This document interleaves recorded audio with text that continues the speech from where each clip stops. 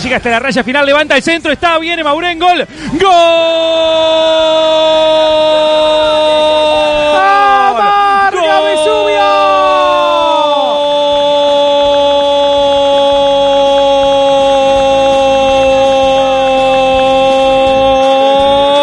Gol Fénix. Maurén Franco en jugada por derecha que elaboró el brasileño. Kai que la tiró hacia el medio y como siempre estaba Maurén, el goleador de Fénix Franco, para anotar los 18 minutos del primer tiempo la apertura. En un pelotazo largo que corrió Kaike, que llegó hasta la raya final, que levantó un centro preciso para Maurén Franco, que anticipó a la defensa de Villa Española y mandó un pase a la red para anotar la apertura.